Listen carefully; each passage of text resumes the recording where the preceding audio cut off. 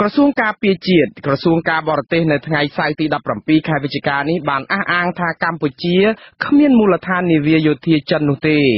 នៅក្នុងសេចក្តីថ្លែងការណ៍អ្នកនាំពាក្យក្រសួងការពារជាតិអះអាងថាកម្ពុជាគឺជារដ្ឋឯករាជ្យអព្យាក្រឹតអចិន្ត្រៃយ៍មិនចូលបកសម្ព័ន្ធដូច្នេះកម្ពុជាមិនអនុញ្ញាតឲ្យប្រទេសណាមួយប្រើប្រាស់ទឹកដីរបស់ខ្លួនធ្វើជាមូលដ្ឋានយោធានោះឡើយ។ ចំណែកឯក្រសួងការបរទេសកម្ពុជាវិញតាមរយៈរដ្ឋមន្ត្រីក្រសួងនេះគឺលោកប្រាក់សុខុនក៏បានច្រានចោលព័ត៌មាន ដែលថាកម្ពុជារៀបចំមូលដ្ឋានកងទ័ពជើងទឹករបស់ចិននៅតំបន់ឆ្នេរសមុទ្រខេត្តកោះកុងនោះដែរ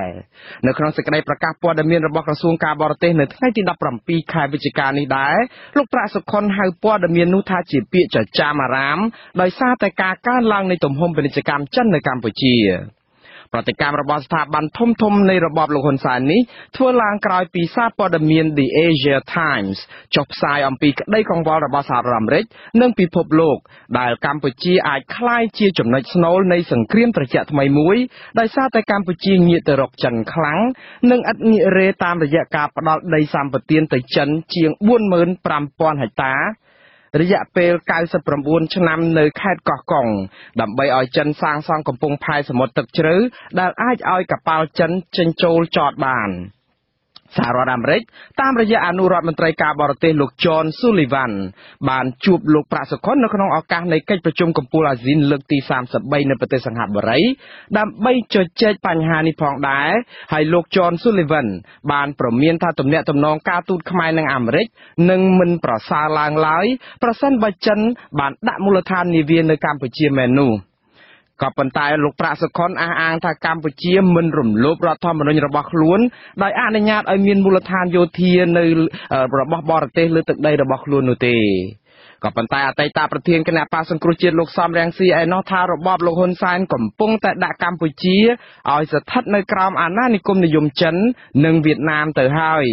លោកសំរងស៊ីសរសេរនៅលើទំព័រ Facebook របស់លោកកាលពីថ្ងៃទី15ខែវិច្ឆិកាថាលោកហ៊ុនសែនបានពុះជ្រៀកប្រទេសកម្ពុជាឲ្យយួនមួយផ្នែកនិងចិនមួយផ្នែកលោកបន្តថាពេលនេះខេត្តរតនគិរីខេត្តមណ្ឌលគិរីនិងខេត្តស្វាយរៀងមួយផ្នែកធំបានคล้ายទៅជាដែនអាណានិគមនិយមរបស់ របស់ប្រទេសវៀតណាមទៅហើយ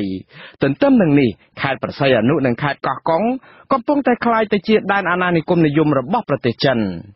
លោកសំរងស៊ីថារបបលោកហ៊ុនសែនអសមត្ថភាពពុករលួយនិងកញ្ជើធ្លុះបែបនេះច្បាស់ជាដួលរលំបើគ្មានជំនួយហិរញ្ញវត្ថុពីចិន លោកបន្តទៀតថានយោបាយលោកហ៊ុនសែនគឺយកលុយចិនបដូរជាមួយនឹងទឹកដីប្រទេសកម្ពុជាដូច្នេះទាំងចំពោះយួននិងទាំងចំពោះចិនលោកហ៊ុនសែនគឺជាជនក្បត់ជាតិសម្រាប់ប្រជារាស្ត្រខ្មែរតាំងពីក្រុមហ៊ុនចិន China Tianjin Union Development Group ទទួលបានដីសម្បទានដែលគ្របដណ្ដប់20%នៃឆ្នេរសមុទ្រកម្ពុជា តាំងតែពីឆ្នាំ2008បញ្ហារំលោភដីធ្លីរបស់ប្រជាពលរដ្ឋក៏បានក្លាយទៅជាជំងឺរ៉ាំរ៉ៃរហូតមកដល់បច្ចុប្បន្ននេះផងដែរ។ បញ្ហាឥទ្ធិពលចិនកុម្មុយនីសនៅក្នុងតំបន់អាស៊ីអាគ្នេយ៍នេះក៏ក្លាយជាក្តីកង្វល់ធំសម្រាប់ប្រទេសសមាជិកអាស៊ានប្រការនេះធ្វើឲ្យលោកនាយរដ្ឋមន្ត្រីសង្ហបុរីលីសៀនឡុងប្រមានអំពីគ្រោះថ្នាក់ជាយថាហេតុនិងតម្រូវឲ្យសមាជិកអាស៊ានជ្រើសរើសផ្លូវដើរមួយដែលត្រូវចាប់យកចិនឬក៏ចាប់យកអាមេរិក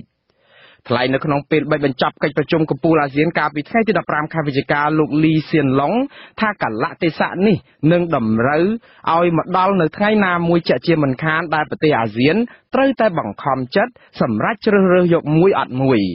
បញ្ហានេះគឺកើតឡើងដោយសារតែសង្គ្រាមពាណិជ្ជកម្មរវាងអាមេរិកនិងចិននោះឯងនាយកប្រតិបត្តិប្រចាំតំបន់អាស៊ីអង្គការឃ្លាំមើលសិទ្ធិមនុស្សអន្តរជាតិ Human Rights Watch លោក Brad Adams ព្រមានរបបលោកហ៊ុនសែន ថាការផ្ដេកផ្ដួលវាសនាប្រទេសជាតិទៅលើចិនកុម្មុយនីសខ្លាំងដូចសពថ្ងៃនេះគឺនាំឲ្យប្រទេសកម្ពុជាជួបវិបត្តិធ្ងន់ធ្ងរលោកថាមិនយូរមិនឆាប់របបលោកហ៊ុនសែននឹងអស់ខ្យល់បើមិនរិះរកវិធានការចាប់យកប្រទេសលោកសេរីជាដៃគូតាមរយៈការស្ដារសិទ្ធិមនុស្សនិងប្រជាធិបតេយ្យឡើងវិញនោះទេ បាទលោកអ្នកស្ដាប់ជាទីមេត្រីតកតងជាមួយនឹងព័ត៌មានដាច់ដライមួយផ្សេងទៀតបាទសំទោនៅក្នុងពេលនេះដោយសារតែយើងអាចភ្ជាប់ខ្សែទូរស័ព្ទតាមបណ្ដាញវីដេអូ Skype ជាមួយនឹងអ្នកវិភាគនិងអ្នកសិក្សាស្រាវជ្រាវកិច្ចការសង្គមលោកកឹមសុកបានទៅហើយដូច្នេះខ្ញុំនឹងជម្រាបសួរលោកតកតងជាមួយនឹងមតិរបស់លោកជំវិញប្រតិកម្មរបស់ក្រសួងរដ្ឋធំធំហើយនឹងបញ្ហាឥទ្ធិពលចិននៅក្នុងប្រទេសកម្ពុជានេះបាទសូមជម្រាបសួរលោកកឹមសុខបាទបាទជំរាបសួរលោកមូននឹងរ៉េតហើយនឹងជំរាបសួរអ្នកស្ដាប់និងទស្សនាវិទ្យុនិងទូរទស្សន៍អាស៊ីសេរីបាទបាទអរគុណលោកកឹមសុកណាដែលបានផ្ដល់ឱកាសឲ្យយើងខ្ញុំបានសម្ភាសនៅយប់នេះហើយដោយលោកបានជ្រាបស្រាប់ហើយថាកង្វល់របស់សហគមន៍អន្តរជាតិនិងជាពិសេសប្រជាពលរដ្ឋខ្មែរខ្លួនឯងអំពីអធិបុលចិននោះកំពុងតែមានខ្លាំងណាស់ដោយសារតែយើងឃើញថាអធិបុលចិននេះមិនមែនមានតែនៅកោះកុងទេ គឺមាននៅទីក្រុងនៅក្នុងក្រុងបរសៃអនុដែលមានបញ្ហាកើតឡើងជាច្រើនដងច្រើនលើករហូតដល់របបលោកហ៊ុនសែននឹងបញ្ជូនមន្ត្រីជំនាញចុះទៅបង្ក្រាបយ៉ាងណាក្តីក៏នៅតែមានបញ្ហាប៉ុន្តែរឿងបញ្ហានៅក្នុងជាលក្ខណៈបែបនៅក្នុងប្រទេសនឹងគឺជារឿងកង្វល់មួយទៅហើយប៉ុន្តែកង្វល់ពិភពលោកនឹងគឺកង្វល់នៅក្នុងការដែលមានការឃើញការផ្ដាល់ដីសម្បត្តិ99ឆ្នាំឲ្យក្រុមហ៊ុនចិនធំមួយដែលនៅតំបន់កោះកុងឆ្នេរសមុទ្រនោះដែលជាការធ្វើកំពង់ផែទឹកជ្រៅហើយរហូតតលតែអាចនឹងឲ្យកប៉ាល់ឬក៏នាវាចម្បាំងរបស់ចិនអាចចូលចតបានបើសិនជាចិនចង់ធ្វើបានក៏ប៉ុន្តែរដ្ឋរបបលោកហ៊ុនសែននោះបានប្រកែកអស់ទៅហើយថាវាមិនអាចទៅរួចទេវាគ្មាន មូលដ្ឋានទ័ពឬក៏យោធារបស់ចិនណាដែលដាក់នៅស្រុកខ្មែរទេព្រោះវាផ្ទុយនឹងរដ្ឋធម្មនុញ្ញលោកកឹមសុខតាតានៅពេលដែលរបបលោកហ៊ុនសែនចេញប្រតិកម្មភ្លាមភ្លាមទៅនឹងព័ត៌មានរបស់ Asia Times ដែលរកឃើញអំពីអតិពលខ្លាំងដែលជាក្តីបារម្ភរបស់ពិភពលោកក៏ដោយអាមេរិកនៅក្នុងការដែលចិនអាចយកខេត្តកោះកុងជាមូលដ្ឋានទ័ពបែបនេះការប្រតិកម្មភ្លាមភ្លាមបែបនេះតើវាបង្ហាញជាសញ្ញាណអ្វី សម្រាប់ព្រឹត្តិការណ៍នេះបាទរឿងសំខាន់គេមើលឃើញពីចំណុចសម្រាប់ទំនាក់ទំនងរដ្ឋាភិបាលកម្ពុជាហើយនិងរដ្ឋាភិបាលចិនចំណុចទី1ទំនាក់ទំនងរវាងចិននិងរបបក្រុងភ្នំពេញលោកហ៊ុនសែននឹងគ្មានដំឡាទេយើងថាដំឡាភាពណាបាទគ្មានដំឡាភាពទេនោះមានន័យថាទំនាក់ទំនងនឹង គឺជារបៀបនៃការខុបខិតគ្នាផ្នែកនយោបាយជាយុទ្ធសាស្ត្រឧទាហរណ៍ចិនជួយក្រុមលោកហ៊ុនសែនតាមដែលខ្ញុំដឹងហើយខ្ញុំស្ដាប់ឮឃើញផ្ទាល់នឹងប្រជាដោយស្ងាត់ស្ងាត់នៅពេលដែលហ៊ុនសែនទៅទស្សនកិច្ចនៅប្រទេសចិនហើយនៅពេលនោះខ្ញុំជានិស្សិតនៅប្រទេសចិនហ្នឹងគឺជួយលុយហ៊ុនសែនក្រោមតុកសម្រាប់យកទៅឲ្យឃោសនាបោះឆ្នោតឆ្នាំ2013ជាដើមពេលនោះខ្ញុំឃើញគឺរហូតទៅដល់ 300លានយ៉ុងប្រមាណជា50លានដុល្លារអាមេរិកនេះជាអ្វីដែលជាទំនាក់ទំនងបញ្ជាក់ច្បាស់ថាគ្មានតម្លាកាលណាវាគ្មានតម្លាអញ្ចឹងវាប៉ះពាល់ទៅដល់ប្រយោជន៍ខ្មែរទាំងមូលប្រយោជន៍បរិស្ថានសមុទ្រសេដ្ឋកិច្ចសង្គមរឿងផ្សេងផ្សេងទៀតដែលយើងឃើញជាក់ស្ដែងក៏ប៉ុន្តែរឿងមួយទៀតកាលណាវាគ្មានតម្លាបែបនេះ ហើយកម្ពុជាវាជាប្រទេសមួយនៅក្នុងចំណោមប្រទេសនានាជាសមាជិកអាស៊ាន ហើយអាស៊ានបច្ចុប្បន្នមានប្រទេស4ដែលកំពុងមានបញ្ហាជាមួយចិនម្ល៉េះហើយការបើកឱកាសឲ្យចិនមកធ្វើកំពង់ផែទឹកជ្រៅនៅប្រទេសកម្ពុជា ពិតមែនតែការអះអាងរបស់ក្រមមន្ត្រីរដ្ឋាភិបាលគេថា ជាសារមួយបញ្ជាក់ថាគេគ្មានបើកឱកាសឲ្យចិនធ្វើតាមចិត្តឬក៏គេធ្វើតាមរបៀបត្រឹមត្រូវរបស់គេប៉ុន្តែនោះជាពិសាដោះសារនយោបាយទេប៉ុន្តែអ្នកស្រាវជ្រាវនឹងអន្តរជាតិគេដឹងច្បាស់ថារបៀបរបបបែបហ្នឹងនឹងបើកឱកាសឲ្យចិនលូកចូលកាន់តែជ្រៅមិនត្រឹមតែទាញយកផលប្រយោជន៍សេដ្ឋកិច្ចបំផ្លាញជាតិខ្មែរប៉ុណ្ណឹងទេ ក៏ប៉ុន្តែវាប៉ះពាល់ទៅដល់ជំហរអន្តរជាតិរបស់កម្ពុជានៅថ្ងៃក្រោយហើយវាប៉ះពាល់ទៅដល់អាស៊ានទាំងមូលទៅទៀតពីព្រោះសពថ្ងៃអាស៊ានកំពុងតែคล้ายទៅជាចំណុចសំខាន់មនុស្សប្រមាណ600លាននាក់ជាសម័យនៅក្នុងប្រទេសអាស៊ានទាំង10ហ្នឹង ដែលជាចំណុចពង្រីកសេដ្ឋកិច្ចសំខាន់ហើយនឹងជាចំណុចដែលគេគិតអំពីបញ្ហាសន្តិសុខសំខាន់ម្ល៉េះហើយកាលណា រដ្ឋាភិបាលកម្ពុជាធ្វើនយោបាយរបៀបខុបខិតគ្នាជាមួយចិនស្ងាត់ស្ងាត់របៀបប្រើដីសម្បត្តិពិតមែនវាមិនមែនចែងអំពីការដឹកនាំកងទ័ពឬអាវុធមកក៏ប៉ុន្តែដោយសារតែរបៀប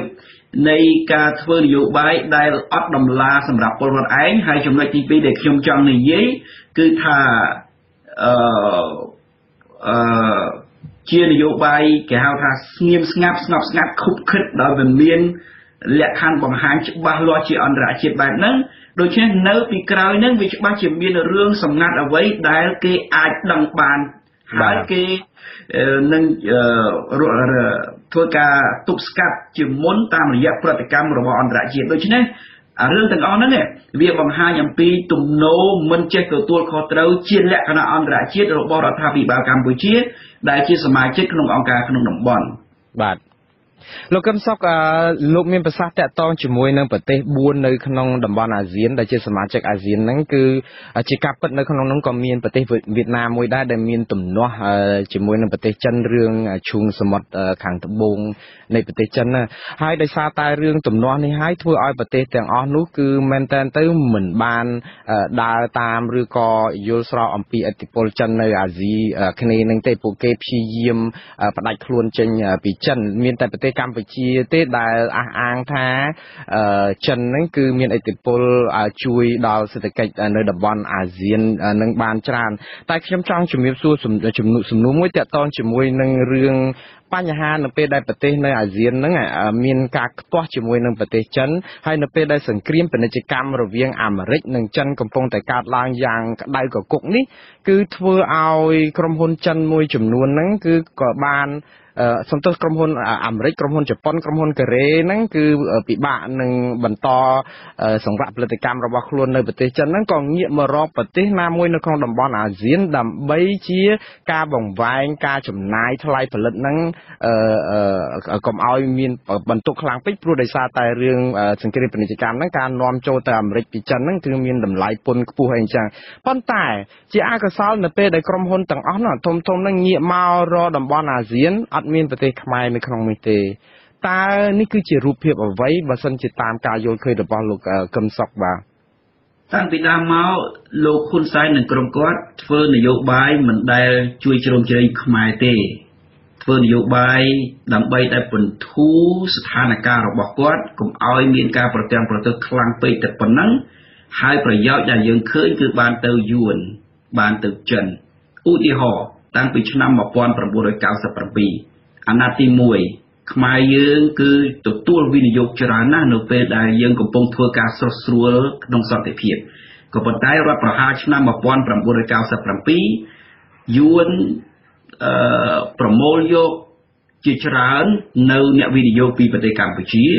ហើយរដ្ឋាភិបាលកម្ពុជានឹងទៀតសោតក្រមមន្ត្រីរដ្ឋាភិបាលកម្ពុជានឹងលក់កូតានាំសម្លៀកបំពាក់អីទៅប្រទេសអឺរ៉ុបទៅទៅប្រទេសមហាអំណាចផ្សេងផ្សេងទៅឲ្យយួនទៅទៀតរបៀបរបបនិងរបត់បែបហ្នឹងវានៅតែកើតមាន សម្រាប់ក្រមលោកហ៊ុនសែនដដែល ដូច្នេះនយោបាយក្រមលោកហ៊ុនសែនមកដល់បច្ចុប្បន្នគ្មានអ្វីក្រៅតែពីរក្សាអំណាចតាមរយៈការខុបខិតខុបខិតដោយឥតតម្លាជាមួយចិនខុបខិតដោយឥតតម្លាជាមួយយួនហើយធ្វើនយោបាយបកស្រាយតែរបៀបការពៀមុខមាត់នយោបាយរបស់ខ្លួនតែប៉ុណ្ណឹងក្នុងរបត់បែបនេះ ប្រសិនបើមិនងាកឲ្យបានកាន់តែ ស៊ីជម្រៅទៅដល់គោលការណ៍ជាអន្តរជាតិឲ្យមានលក្ខខណ្ឌនៃការទទួលស្គាល់ជាអន្តរជាតិដោយបណ្ដាប្រទេសផ្សេងផ្សេងទាំងនៅអឺរ៉ុបទេជាពិសេសសហរដ្ឋអាមេរិកនិងប្រទេសជប៉ុនប្រទេសកាណាដាជាដើមដែលមានឥទ្ធិពលលើគោលការណ៍អន្តរជាតិនិងប្រជាធិបតេយ្យប្រទេសកម្ពុជានឹងធ្លាក់ចូលយ៉ាងជ្រៅធ្លាក់ចូលរហូតដល់បាត់បង់មិនត្រឹមតែមុខមាត់ខ្លួននៅលើឆាកអន្តរជាតិបាត់បង់ អឺប្រយោជន៍ខ្លួនទាំងការវិនិយោគទេក៏ប៉ុន្តែពួកគេចិនយួននឹងច្រាប់បន្តិចម្ដងបន្តិចម្ដងពីកម្ពុជានៅប្រយោជន៍ដែលកម្ពុជាកំពុងតែសេសសល់បន្តិចបន្តួចហើយក្នុងរបបបែបហ្នឹងក្នុងលក្ខខណ្ឌណាមួយកម្ពុជានឹងធ្លាក់ទៅក្នុងរបបនៃរបៀបប្រើប្រាស់ដោយចិននិងយួននៅក្នុងគោលការណ៍ជាអន្តរជាតិឧទាហរណ៍ថាប្រសិនបើស្ថានភាពតម្រូវ នៃមហាអំណាចចិននិងអាមេរិកដែលត្រូវរាំងស្ទះក្នុងនយោបាយគោលការណ៍អន្តរជាតិក្នុងការសម្រេចជាអន្តរជាតិផ្សេងផ្សេងដែលត្រូវការជាជំនួយពីអាស៊ានអីជាដើមពាក់ព័ន្ធនឹងអាស៊ានជាដើមកម្ពុជានឹងក្លាយទៅជាប្រទេសឯកោហើយនៅពេលនោះ ភាពប្រទាំងប្រទេសដែលកម្ពុជាមានដើរបញ្ច្រាស់ទាំងពីអាស៊ានទាំងគោលការណ៍អន្តរជាតិហ្នឹងវាធ្វើឲ្យកម្ពុជាខាតប្រយោជន៍និងមិនទៅជាកន្លែងដែលគេមើលឃើញសម្រាប់ការធ្វើវិនិយោគការធ្វើទំនាក់ទំនងល្អម្លោះហើយក្នុងស្ថានភាពបែបហ្នឹងប្រទេសយើងមិនត្រឹមតែបាត់បង់ត្រឹមតែវិនិយោគសេដ្ឋកិច្ចតែប៉ុណ្ណឹងទេនឹងបាត់បង់អធិបតេយ្យភាពជាតិទាំងមូលស្ថិតនៅក្រោមការគ្រប់គ្រងរបស់ចិនយួនដាច់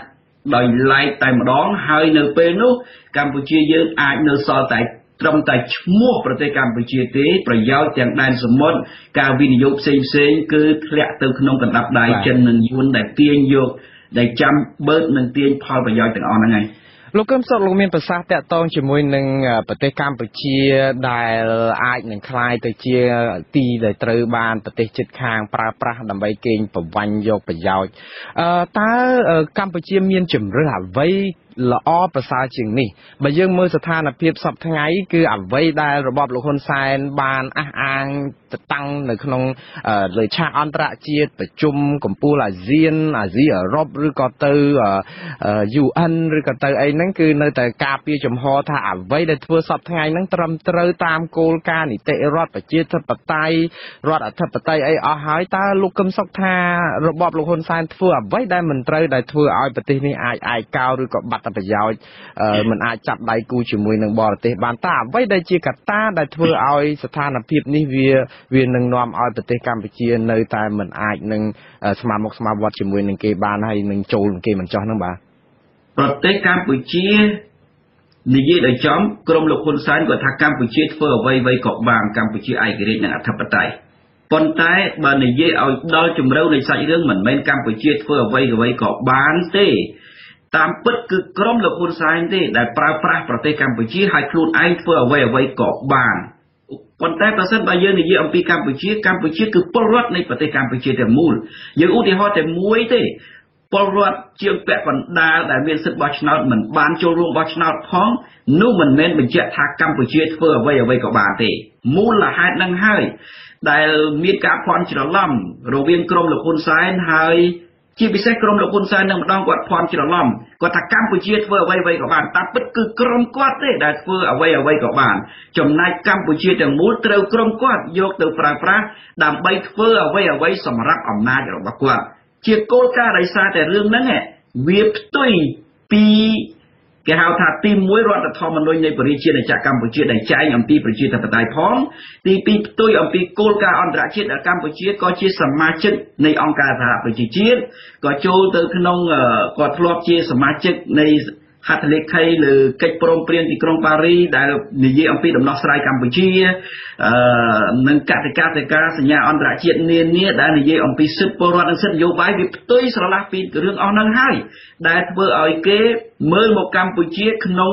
របបមួយដែលគេមិនអាចតាក់ទងនឹងនិយាយដោយពេញមុខនិងស្មើមុខបានប៉ុន្តែក្រមលោកហ៊ុនសែនគាត់ច្រឡំគាត់អេងអាងតែខ្លួនគាត់គាត់យល់ថាកម្ពុជា ក្រុមលោកហ៊ុនសែនមិនមែនកម្ពុជាទេកម្ពុជាវាតតែពលរដ្ឋកម្ពុជាទាំងអស់គ្មានអ្នកណាម្នាក់ត្រូវគេបោះបង់សិទ្ធិដោយដែលជាអនុសាសន៍របស់សាស្ត្រាចារ្យ Ronald Smith អឺអ្នករាយការណ៍ពិសេសនៃឧត្តមស្នងការអង្គការសហជីវជាតិទទួលបន្ទុកសិទ្ធិមនុស្សអញ្ចឹងគាត់ថាទាល់តែមានពុំមានមនុស្សរងគ្រោះណាម្នាក់ត្រូវគេបោះបង់ចោល អាហ្នឹងជាធាតមួយមួយនៃប្រទេសមួយគឺកម្ពុជាហ្នឹងប្រទេសផ្សេងផ្សេងក៏គេធ្វើអញ្ចឹងដែរហើយកាលណាធាតសំខាន់សំខាន់នៃពលរដ្ឋនៃប្រទេសជាតិនឹងមានពលរដ្ឋមានសិទ្ធិពលរដ្ឋមានប្រយោជន៍សេដ្ឋកិច្ចប្រយោជន៍សង្គមបរិស្ថានអីជាដើមត្រូវគេយកទៅជន់ឈ្លីហើយបំរើតែប្រយោជន៍ក្រុមបុគ្គលវាប្រះចាកអំពីប្រយោជន៍ជាតិទាំងមូលយើងនិយាយថាកម្ពុជាធ្វើអ្វីក៏បានអានោះវាបញ្ច្រាស់នឹងចរន្តអន្តរជាតិ ដោយសារតែរបៀបបញ្ចាំងចរន្តអន្តរជាតិនៃការបកស្រាយរបស់ក្រមលោកហ៊ុនសែនដែលគេដឹងថាតាមពិតមិនមែនកម្ពុជាគឺក្រមលោកហ៊ុនសែនទៅវិញទេម្ល៉េះហើយទើបតែអ្វីអ្វីខ្លាយទៅជាទំនាស់រវាងក្រមលោកហ៊ុនសែនហើយនឹងគោលការណ៍តាមពិតមិនមែនអ្នកអន្តរជាតិប្រទេសណាមួយទៅគឺគោលការណ៍ជាអន្តរជាតិដែលគេមិនអាចលូកដៃធ្វើទំនាក់ទំនងបានជាមួយនឹងក្រមលោកហ៊ុនសែនបាទលោកកឹមសុខឥឡូវចូលដល់ចំណុចមួយដែលថាអឺ ប្រទេសកម្ពុជាកំពុងតែស្ថិតនៅក្នុងស្ថានភាពមួយដែលមិនច្បាស់លាស់បើសិនជាយើងមើលអំពីការដែលកំពុងតែគម្រាមដាក់អឺ ដកការអនុគ្រោះពន្ធជាការពិតការគម្រាមដកការអនុគ្រោះពន្ធនេះមិនមែនជាទណ្ឌកម្មទេគឺជាការដែលជាការពមៀនថារបបលហ៊ុនសែននឹងកំពុងតែប្រព្រឹត្តផ្ទុយទៅនឹងកិច្ចព្រមព្រៀងពាណិជ្ជកម្មរវាងកម្ពុជានិងសហភាពអឺរ៉ុបដែលចងភ្ជាប់កាតព្វកិច្ចនៅក្នុងការគោរពសិទ្ធិមនុស្សនិងប្រជាធិបតេយ្យដែលជាចម្បងនៅក្នុងនោះក៏ប៉ុន្តែខាងសហភាពអឺរ៉ុបបានប្រាប់ឲ្យថារឿងដែលគេមិនអាចទទួលយកបានហ្នឹងគឺឲ្យស្ដារប្រជាធិបតេយ្យនិងសិទ្ធិមនុស្សឡើងវិញលោកកឹមសុខលោកមានប្រសាសន៍ថារឿងរឿងរឿងអ្វីដែលកើតឡើងនៅប្រទេសកម្ពុជានេះគឺបានន័យថាអង្គវាទៅជាបាយហើយការរំលាយគណៈបកសង្គ្រោះជាតិការដែលយកតំណែងមេឃុំចៅសង្កាត់ដែលជាប់ឆ្នោត5007នាក់ពីគណៈបកប្រឆាំងទៅចែកឬក៏លុបតំណែងនឹងចោលដែលដែលជារឿងមួយដែលសហគមន៍អន្តរជាតិនិងប្រទេសកម្ពុជាប្រជាប្រដ្ឋខ្លួនឯងនិងកម្ពុជាខ្លួនឯងនឹងក៏ចាត់ទុកថាជាការរំលោភដ៏ធ្ងន់ធ្ងរទៅលើរដ្ឋធម្មនុញ្ញក៏ដូចជាច្បាប់នានាព្រោះវាជារឿងខុសឆ្គងហើយគេឲ្យស្ដារអាហ្នឹងឡើងវិញលោកកឹមសុខថាតើឥឡូវនេះកម្ពុជាស្ថិតនៅក្នុងចំណុចណានៅក្នុង ផ្លូវដើរមួយដែលថាតើបើសិនជាងាកទៅរកការដែលត្រឡប់ព្រឹត្តិការណ៍ឡើងវិញឲ្យមានភាពល្អប្រសើរអឺដូចថាឲ្យសង្គ្រោះជាតិនឹងមានបើករស់ដំណើរការឡើងវិញឲ្យតំណាងរាស្ត្រ118នាក់នឹងមានសិទ្ធិធ្វើនយោបាយឲ្យសកម្មជនឬក៏ក្រុមប្រឹក្សាគុំសង្កាត់5007អ្នកអីនឹងមានបានកាន់អស់ការិយាល័យរបស់ខ្លួនទៅតាមភាពស្របច្បាប់វិញតើវាអាចទៅរួចដែរទេនៅពេលដែលរឿងបែបនេះគឺវាមកដល់ដំណាក់កាលដែលរបបមួយកំពុងតែព្យាយាមបិទបាំងកាយកប់អានឹងថាអានឹងជាការតាមត្រូវនោះបាទរឿងនេះគឺជាការចង់បានរបស់ខ្មែរទាំងមូលខ្មែរភាគច្រើននិយាយចំជាប្រជាជាតិខ្មែរទាំងមូលទាំងខ្មែរនៅក្នុងស្រុកនិងក្រៅស្រុកប៉ុន្តែមកដល់ពេលនេះអ្វីដែលយើងចង់បានរូបភាពសារដើមឡើងវិញនោះ មិនមែនជាបំណងប្រាថ្នាពិតប្រាកដរបស់ក្រុមលោកហ៊ុនសែនដែលគាត់ចង់សម្របសម្រួលឲ្យទៅបែបនោះទេ ពីព្រោះគោលដៅសំខាន់របស់គាត់គឺអំណាចប្រសិនបើគាត់ហ៊ានលេងអឺសារដើមឡើងវិញនោះមានន័យថារៀបចំឲ្យមានការបោះឆ្នោតត្រឹមត្រូវរៀបចំឲ្យក្រុមសមាជិកសភានៃគណៈបកប្រឆាំងជាពិសេសគណៈបកប្រឆាំងនឹងមានជីវិតរស់ឡើងវិញ ក្នុងរូបភាពពិតប្រាកដជាក់ស្ដែងដើម្បីប្រកួតប្រជែងនោះមានន័យថាគាត់នឹងបាត់អំណាចបាត់អំណាចកាលណាបាត់អំណាចគឺគាត់បាត់អ្វីអ្វីទាំងអស់គាត់នឹងគឺលោកហ៊ុនសែននិងក្រុមគាត់កាលណាក្រុមលោកហ៊ុនសែនបាត់អ្វីអ្វីទាំងអស់ដូច្នេះអ្វីដែលគាត់ត្រូវធ្វើគឺគ្មានអ្វីដែលខ្ញុំក្រៅតែពីខ្ញុំបញ្ជាក់ពីដំបូងពីរយ៉ាងទី1គឺធ្វើដោយឥតដំឡាហើយទី2 គឺគាត់ធ្វើដោយការខុបខិតរបៀបសម្ងាត់ដូចជាមួយចិនជាដើមហ្នឹងដោយវិធីស្ងាត់ស្ងៀមបំផុតនិងទុច្ចរិតបំផុតក៏ប៉ុន្តែគាត់ចេញបកស្រាយបែបនយោបាយដោះសារអាហ្នឹងគាត់ធ្វើតែពីរយ៉ាងហ្នឹងទេហើយអ្វីដែលគាត់ត្រូវបន្តគឺថាគាត់ប្រើពេលវេលាដើម្បីពង្រឹងខ្លួនគាត់ពង្រឹងធ្វើម៉េចអឺឲ្យនយោបាយរបស់គាត់នឹងអាចរស់បាន កាន់តែយូរកាន់តែល្អអាហ្នឹងហើយទៅយើងត្រូវធ្វើកិច្ចការច្រើនអ្នកប្រជាធិបតេយ្យធ្វើកិច្ចការច្រើនពីនេះទៅដើម្បីជំរុញអន្តរជាតិកុំឲ្យពន្យាពេលយូរពេកទៅលើរបបក្រុងភ្នំពេញហើយអ្វីដែលយើងពិនិត្យមើលជាក់ស្ដែងទៅទៀតរបបក្រុងភ្នំពេញគាត់ប្រើពេលប្រើពេលហ្នឹងគេប្រើពីបើយើងនិយាយចំជារបៀបធ្វើនយោបាយការពារស្បែក ពីព្រោះបើគាត់បាត់អំណាចវាដូចជាកាដាហ្វីដូចជាសាដាមហ៊ូសេនដូចជាមេដឹកនាំនៃប្រទេសនានាអញ្ចឹងប្រសិនបើខ្លាចតែច្បាប់កាត់ទោសវាមិនទាន់ទៅទៀតណាបើបាត់អំណាចនោះមានន័យថាគាត់ជាសត្រូវនៃមនុស្សជាច្រើននៅក្នុងប្រទេសកម្ពុជាខ្លួនឯងពលរដ្ឋឯងនឹងពេញពិភពលោកម្លោះហើយខ្លាចការនាំគាត់ទៅកាត់ទោសដោយច្បាប់ដោយមេដឹកនាំខ្មែរក្រហមនោះនាំមិនទាន់ទៅទៀតដូច្នេះ អាហ្នឹងវាជាចំណុចខ្លាចធំបំផុតរបស់គាត់កាលណាគាត់ខ្លាចរបៀបហ្នឹងគាត់មិនហ៊ានបត់មកភ្លាមទេតាមពិតទៅសម្ពាធអន្តរជាតិគាត់ត្រូវតែបត់ហើយគាត់ត្រូវតែធ្វើការសម្រួលស្ថានភាពបន្តិចម្ដងបន្តិចម្ដងហើយដូចយើងឃើញចុងក្រោយនៃដំណើរទស្សនកិច្ចរបស់លោកស្រី Rona Smith គ្នាគាត់បញ្ចេញសារមួយដោះលែង មេដឹកនាំសហជីពហើយនិងសមាជិកនៃសហជីពដើម្បីឲ្យអាចធ្វើកិច្ចការរបស់ពួកគាត់ឡើងវិញអានឹងវាជាសញ្ញានៃការបត់ប៉ុន្តែរបៀបបត់របស់ក្រមលោកហ៊ុនសែនគឺមិនធ្វើភ្លាមតាមការចង់បានឬតាមការចង់ឃើញរបស់ប្រជាជាតិខ្មែរឲ្យមានការប្រកួតប្រជែងច្បាស់លាស់ទេម្លោះហើយពីពេលនេះទៅតើតែយើងធ្វើការច្រើនណាស់អ្នកប្រជាធិបតេយ្យធ្វើការដោយលើគោលការណ៍ច្បាប់ធ្វើការស្រាវជ្រាវហើយធ្វើការដោយរួមផ្ដុំកម្លាំងគ្នា ពន្យល់អន្តរជាតិថែមទៀតមិនមែនត្រឹមតែពន្យល់ទេការតាមពិតអន្តរជាតិគេដឹងអំពី អឺរបៀបរបបនិងរបត់នៃអង្គើមិនសុចរិតរបស់ក្រមលោកហ៊ុនសែនអស់ទៅហើយក៏ប៉ុន្តែយើងបំសំដែងការបារម្ភកាន់តែច្រើនទៀតហើយយើងបង្ហាញអំពីផលវិបាកផលវិបាកហើយនឹងមហន្តរាយដែលកើតមានប្រទេសចំពោះប្រទេសកម្ពុជាប្រសិនបើក្រមលោកហ៊ុនសែនគាត់នៅតែបន្តអំណាចបែបនឹងយូរនោះមានន័យថាផែនការរបស់គាត់មិនមែនអំណាចត្រឹមតែគាត់ តែតាមពិតរហូតដល់អ្នកចំនួនក្រោយរបស់គាត់មានកូនគាត់ជាដើមក្នុងហេតុផលមួយថាប្រសិនបើមិនធ្វើបែបនេះគាត់ការពារស្បែកគាត់មិនបានម្ល៉េះហើយគាត់ត្រូវតែធ្វើបែបនេះបាទអរគុណលោកកឹមសុកណាស់ដែលបានផ្ដល់ឱកាសខ្ញុំបានសម្ភាសបាទយើងនឹងជួបគ្នានៅពេលក្រោយទៀតហើយសូមជម្រាបលាលោកត្រឹមប៉ុណ្ណេះសិនបាទសូមអរគុណបាទជម្រាបសួរបាទជម្រាបជម្រាបលាលោកមុនបាទ បាទលោកនាងជាទីមេត្រីលោកនាងទៅបានស្ដាប់បទសម្ភាសន៍របស់ខ្ញុំបាទជាមួយនឹងលោកកឹមសុខដែលជាអ្នកវិភាគនិងអ្នកសិក្សាស្រាវជ្រាវសង្គមតាក់ទងជាមួយនឹងអធិបុលប្រទេសចិននៅក្នុងប្រទេសកម្ពុជាលោកបានបញ្ជាក់ឲ្យថាមានតែពេលវេលាទេ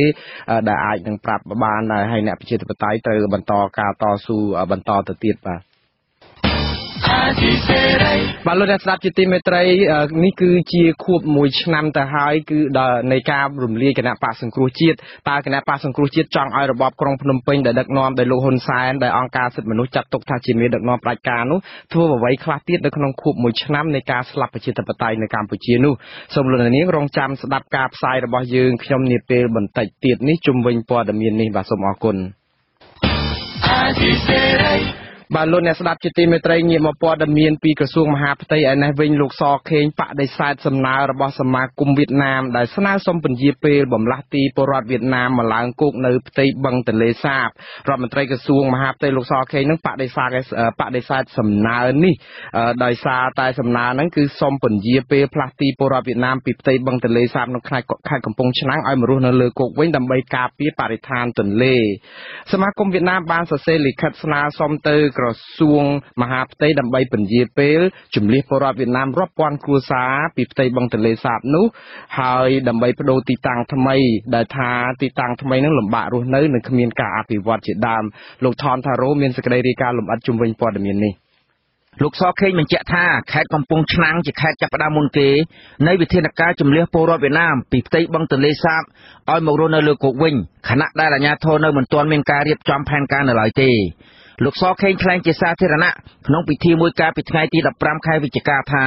ដំណើរការនៃការដោះស្រាយបញ្ហានេះជួបបញ្ហាប្រឈមព្រោះជាដំណាក់កាលអន្តរកាលគឺជាមិនផុតពីការលំបាកនោះទេលោកបញ្ជាក់ថាក្រសួងនឹងមិនព្រមពន្យាពេលផ្លាស់ទីពលរដ្ឋវៀតណាមនោះទេជាគោលការណ៍យើងមិនអនុញ្ញាតឲ្យការកសាងភូមិអីផ្ទះសម្បែងលើទឹកទេប៉ុន្តែមិនទាន់ធ្វើបានគ្រប់កន្លែងទេខេត្តកំពង់ឆ្នាំងគឺជាខេត្តដែលបានចាប់ផ្ដើមធ្វើមុនគេ ហើយក៏បានរៀបចំជាផែនការរៀបចំអីការប៉ັດហើយគឺថាក្នុងដំណើរការទៅធ្វើវាមានបញ្ហាប្រឈមវាមិនមែនអត់ទេហើយដំណាក់កាលអន្តរកាលនឹងជាបំផុតពីការលំបាកទេប៉ុន្តែគឺយើងនឹងខិតខំដោះស្រាយដើម្បីនោះបរិស្ថានបរិស្ថានសមាគមវៀតណាមបានស្នើទៅក្រសួងមហាផ្ទៃដើម្បីសុំពន្យាលពេលផ្លាស់ទីពលរដ្ឋវៀតណាមពីផ្ទៃបឹងទន្លេសាបក្នុងខេត្តកំពង់ឆ្នាំងឲ្យមករស់នៅលើគោកវិញដោយលើកហេតុផលថាទីតាំងថ្មីនោះ គ្មានហេដ្ឋារចនាសម្ព័ន្ធប្រព័ន្ធទឹកភ្លើង និងមន្ទីរពេទ្យជាដើម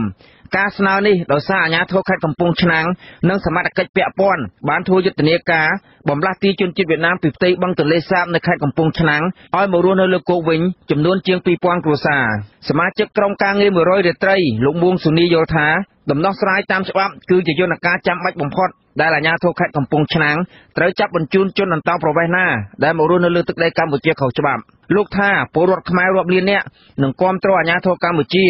ប្រសិនបើក្រសួងមហាផ្ទៃអនុវត្តច្បាប់ឲ្យបានម៉ឺងម៉ាត់ចំពោះជនអន្តោប្រវេសន៍ដែលមករស់នៅក្នុងកម្ពុជាខុសច្បាប់ដើម្បីការពារអធិបតេយ្យជាតិនិងសង្គ្រោះបរិស្ថានទន្លេសាបហើយយើងលើកករណីបរិស្ថានថាត្រូវតែបណ្ដេញចេញឲ្យលឿនដើម្បីបរិស្ថានស្អាតវាអត់អាចធ្វើទៅបានទេព្រោះអីមានពីរចំណុចចំណុចទី1គឺជនអន្តោប្រវេសន៍នៅជុំវិញបឹងទន្លេសាបហ្នឹងច្រើនទី2គឺ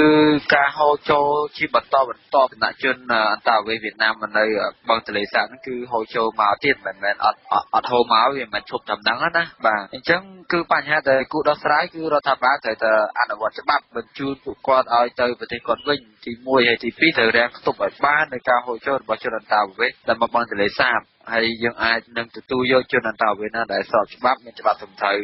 អាស៊ីសេរីបានព្យាយាមតាក់ទងអភិបាលខេត្តកំពង់ឆ្នាំងលោកឈួរច័ន្ទឌឿនតែទូរស័ព្ទហៅចូលគ្មានអ្នកទទួលនៅថ្ងៃទី17វិច្ឆិកា ទោះយ៉ាងណាប្រធានសមាគមវៀតណាមនៅកម្ពុជាលោកស៊ីមជីបដិសេធមិនផ្ដល់បទសម្ភាសន៍ដល់អាស៊ីសេរីប៉ុន្តែលោកធ្លាប់ប្រាប់អាស៊ីសេរីថាទីតាំងថ្មីដែលអាជ្ញាធរក្រុងផ្ដល់ឲ្យពលរដ្ឋវៀតណាមរស់នៅនោះគ្មានអភិវឌ្ឍអ្វីទាំងអស់លោកថាបច្ចុប្បន្នអាជ្ញាធរខេត្តបានចាត់ឲ្យកម្លាំងប្រដាប់អាវុធដេញពលរដ្ឋវៀតណាមដែលកំពុងរស់នៅលើផ្ទៃទឹកឲ្យមករស់នៅលើទីតាំងថ្មីជាបណ្ដាបណ្ដាហើយ តាមខ្ញុំទទួលព័ត៌មានពីបងប្អូនមកនឹងគឺបច្ចុប្បន្ននឹងខាងសាលាខេត្តក៏បានឲ្យជួនដំណឹងទៅដល់បងប្អូននឹងត្រូវតែបត់ឡាទៅទីតាំងថ្មីប៉ុន្តែបងប្អូនក៏មិនអាចទៅរស់នៅទីតាំងថ្មីហើយក៏ជំនួនគាត់ក៏បានទៅរស់នៅទីតាំងផ្សេងដូចក៏ដូចជាទៅជួលដីរបស់ប្រជាពលរដ្ឋតាមដងទន្លេសាបហ្នឹងដើម្បីរស់នៅម្ដងអាសន្ន នាយកប្រតិបត្តិសម្ព័ន្ធគណនេយ្យភាពសង្គមកម្ពុជាលោកសនជ័យនៅតែមន្ទិលពីភាពស្របច្បាប់ជនជាតិវៀតណាមទាំងអស់ដែលកំពុងរស់នៅលើផ្ទៃបឹងទន្លេសាបខណៈពេលដែលសមាគមវៀតណាមតែងព្យាយាមការពារជនជាតិវៀតណាមនិងបានស្នើសុំពន្យាលពេលទៅក្រសួងមហាផ្ទៃបញ្ហានេះលោកសង្ស័យថាអាចមានជនអន្តោប្រវេសន៍វៀតណាមរស់នៅច្រើននៅលើផ្ទៃបឹងទន្លេសាបដែលទាមទារឲ្យក្រសួងសាមីត្រូវមានភាពច្បាស់លាស់ ក្នុងការអនុវត្តច្បាប់របស់កម្ពុជាលោកអង្កេតឃើញថាផែនការបំលាស់ទីរបស់ក្រសួងមហាផ្ទៃកើតមានចាលឆ្នាំមកហើយគួរដល់ពេលវេលាអនុវត្តវិធានការនេះឲ្យបានជោគជ័យដើម្បីសង្គ្រោះបរិស្ថានទន្លេសាបទាំងអស់នោះជាជនជាតិវៀតណាមដែលរស់នៅដោយស្របច្បាប់ទេដោយសារអីដោយសារតែលក្ខខណ្ឌនៃការចូលសញ្ជាតិហ្នឹងដូចជាពួកគេមិនបានបំពេញលក្ខខណ្ឌគ្រប់គ្រាន់ទេណាហើយនេះជាមូលហេតុដែលខ្ញុំយល់ថាវាជាមូលហេតុមួយដែលធ្វើឲ្យមេដឹកនាំវៀតណាមនឹងតែងតែបន្ទូចម្ដងហើយម្ដងទៀតទៅលើការស្នើសុំឲ្យអាជ្ញាធរកម្ពុជានឹងមើលការមើលការខុសត្រូវឬក៏ថែរក្សាជនជាតិវៀតណាមដែលរស់នៅកម្ពុជានឹងម្ដងទៀតគេគេបារម្ភខ្លាចថាកម្ពុជានឹងបញ្ជូនជនជាតិវៀតណាមដែលខុសច្បាប់នោះទៅប្រទេសកំណើតវិញ ចំណែកអ្នកនាំពាក្យទីស្តីការគណៈរដ្ឋមន្ត្រីលោកផៃសិផានមានប្រសាសន៍កាលពីថ្ងៃទី13ខែវិច្ឆិកាថាជនអន្តោប្រវេសន៍ដែលរស់នៅកម្ពុជាខុសច្បាប់អាជ្ញាធរនឹងចាត់វិធានការបណ្តេញចេញពីកម្ពុជាហើយអ្វីដែលអាជ្ញាធរផ្ដល់ឲ្យពលរដ្ឋវៀតណាមអាចរស់នៅបានគឺជាជនអន្តោប្រវេសន៍ស្របច្បាប់លោកថាអាជ្ញាធរកម្ពុជានឹងដោះស្រាយបញ្ហានេះជាបន្តបន្ទាប់និងចាប់ផ្ដើមនៅខេត្តកំពង់ឆ្នាំងជាមុនសិន រឿងជនតបប្រវេដែលយើងឲ្យទូខុសច្បាប់យើងនឹងចាត់វិធានការបដិញ្ញចេញក៏ប៉ុន្តែអ្វីដែលយើងផ្ដល់ពីការរស់នៅពិតប្រាកដគឺគេ ជាជនតបប្រវេស្របច្បាប់យើងមិនឲ្យជាជនតបប្រវេខុសច្បាប់មករស់នៅលើប្រទេសកម្ពុជាទេបាទរបាយការណ៍អាជ្ញាធរខេត្តកំពង់ឆ្នាំងបង្ហាញថាមានជនអន្តោប្រវេសន៍វៀតណាមរស់នៅលើទឹកប្រមាណ2397គ្រួសារក្នុងនោះមានផ្ទះអណ្ដែតទឹកជាង1000ខ្នងលើសពីនេះកន្លែងដែលជនជាតិវៀតណាមរស់នៅច្រើនជាងគេគឺនៅផ្សារក្រោមសង្កាត់កំពង់ឆ្នាំង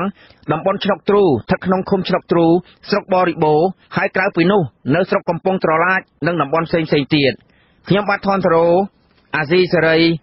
រដ្ឋធានី Washington បាទលោកអ្នកស្ដាប់ជាទីមេត្រីព័ត៌មានតកតងជាមួយនឹងការចាប់បញ្ជូនពលករខ្មែរមកពីប្រទេសថៃមកកម្ពុជាវិញឯណោះអ្នកនាំពាក្យរបបក្រុងភ្នំពេញអះអាងថាក្រសួងការងារក្រសួងការបរទេសនិងស្ថានទូតខ្មែរប្រចាំប្រទេសថៃ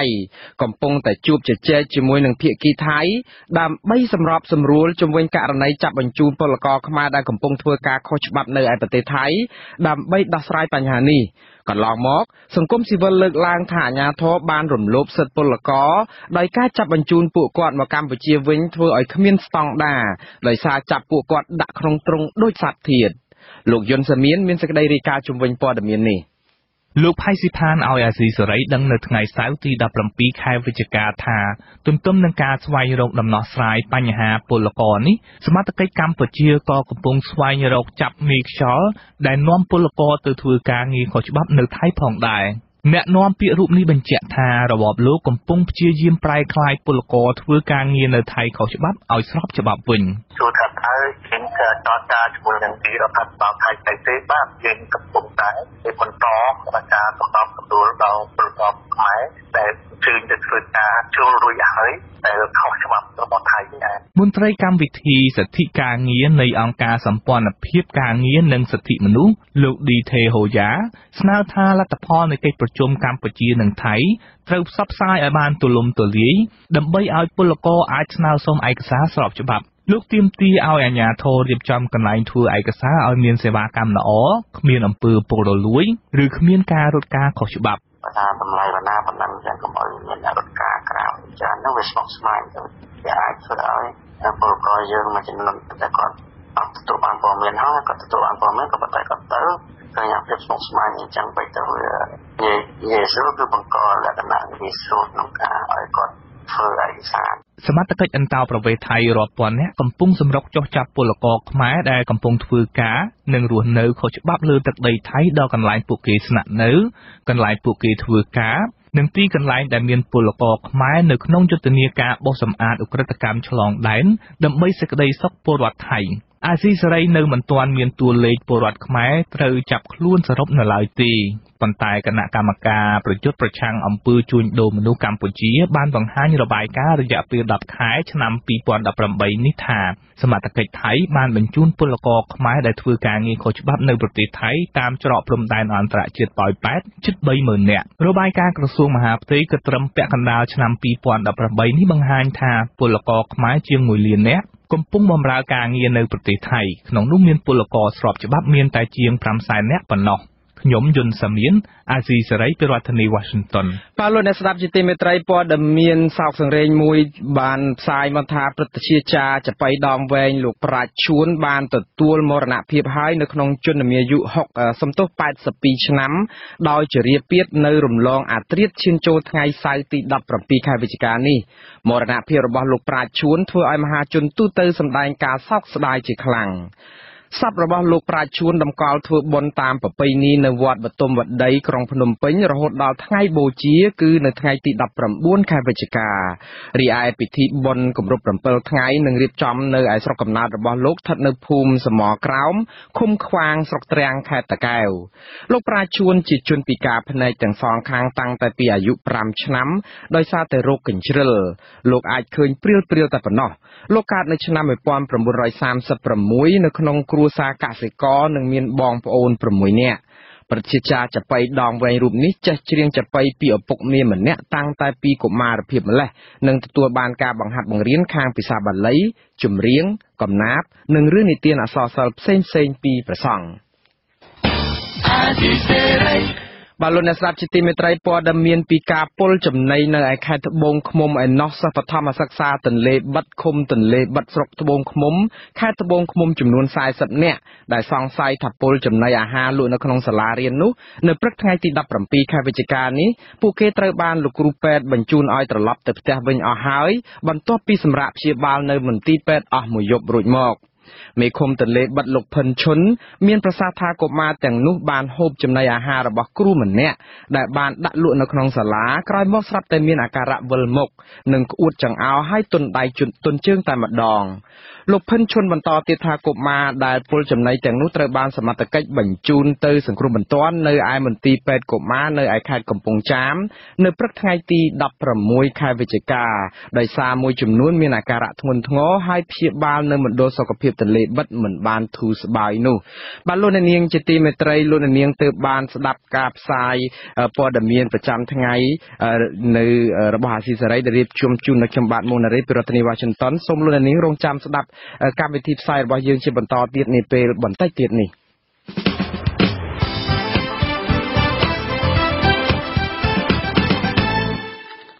បាទលោកនាងជាទីមេត្រីនៅក្នុងការផ្សាយជាបន្តទៅទៀតនេះយើងមានសេចក្តីរាយការណ៍ស្ដីអំពី ប្រតិកម្មរបស់សំទោសគណៈបកសង្គ្រោះជាតិទៀមទាដោះលែងលោកកឹមសុខានិងសិទ្ធិចូលរួមបោះឆ្នោតឡើងវិញក្រោយរបបលោកហ៊ុនសែនរំលាយគណៈគណៈបកនេះបានមួយឆ្នាំហើយពលរដ្ឋកម្ពុជាមួយចំនួនកំពុងតែសំទោសសារៈសំខាន់នៃសុខភាពផ្លូវចិត្តនិងមូលហេតុដែលបណ្ដាលឲ្យមានជំងឺនេះហើយនៅចុងកម្មវិធីលោកអ្នកនាងនឹងបានស្ដាប់ព័ត៌មានបញ្ចប់សូមអញ្ជើញលោកអ្នកនាងស្ដាប់ការផ្សាយរបស់យើងជាបន្តទៅទៀតដូចតទៅ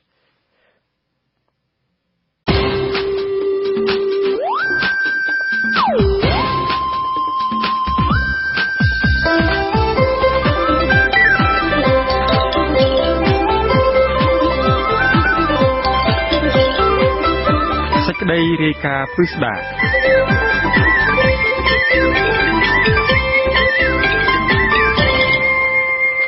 បាទលោកនាងជាទីមេត្រីគណៈបកសង្គ្រោះជាតិទាមទារឲ្យរបបក្រុងភ្នំពេញដោះលែងលោកកឹមសុខាប្រធានគណៈបកនិងទម្លាក់ចោលរាល់ការចាប់ប្រកាន់អ្នកទោសមនសិការដទៃទៀតព្រមទាំងផ្ដល់សិទ្ធិឲ្យគណៈបកនេះបានចូលរួមការបោះឆ្នោតឡើងវិញការទាមទារនេះធ្វើឡើងនៅថ្ងៃខួប1ឆ្នាំនៃការរំលាយគណៈបកសង្គ្រោះជាតិដោយរបបក្រុងភ្នំពេញដែលគណៈបកប្រឆាំងចាត់ទុកថាជាថ្ងៃខួបនៃការសម្លាប់ប្រជាធិបតេយ្យហើយថាកម្ពុជាបានធ្លាក់ចូលនៅក្នុងកណ្ដាប់ដៃនៃជនបដិការអ្នកស្រីសុជីវីមានសេចក្តីរីកាលំអិតជំវិញព័ត៌មាននេះថ្ងៃទី16ខែវិច្ឆិកាឆ្នាំ2018គឺជាខួប1ឆ្នាំគត់ដែលគណៈបកសង្គ្រោះជាតិត្រូវបានរបបលហ៊ុនសែនប្រើប្រាស់ប្រព័ន្ធតុលាការដែលប្រជាពលរដ្ឋប្រសិទ្ធនាមថាជាតុលាការតេឡេរំលាយគណៈបកដ៏ធំនិងមានប្រជាប្រិយភាពមួយនេះចេញពីឆាកនយោបាយកម្ពុជាដើម្បីផ្ដល់ឱកាសឲ្យគណៈបកប្រជាជនកម្ពុជាក្តោបក្តាប់អំណាចតែឯងបន្តទៀត គណៈបកសង្គ្រោះជាតិទាមទារឲ្យរបបលហ៊ុនសែនដោះលែងនិងទម្លាក់ចោលការចោទប្រកាន់ទាំងអស់លើលោកកឹមសុខា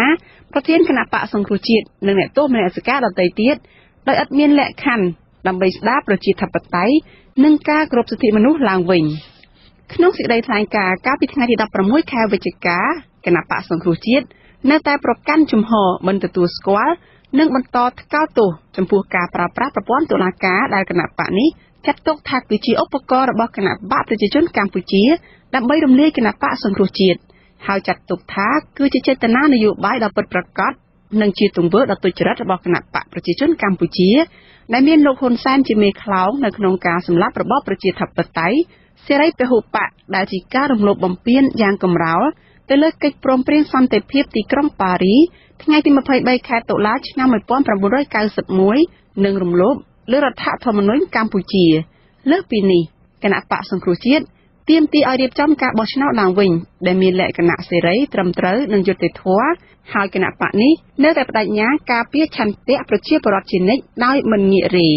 សមាជិកក្រុមការងារគណៈបកសង្គ្រោះជាតិនិងជាមន្ត្រីនាយកដ្ឋានកិច្ចការបោះឆ្នោតនិងនីតិកម្មលោកគង់ម៉ាស់បញ្ជាក់ថាប្រសិនបើរបបលហ៊ុនសែនមិនព្រមដោះស្រាយបញ្ហានយោបាយនិងផ្ដល់សុពលភាពឲ្យគណៈបកប្រឆាំងទេនោះ គឺប្រទេសកម្ពុជានឹងប្រឈមនឹងការបែកបាក់ជាតិកាន់តែធ្ងន់ធ្ងរ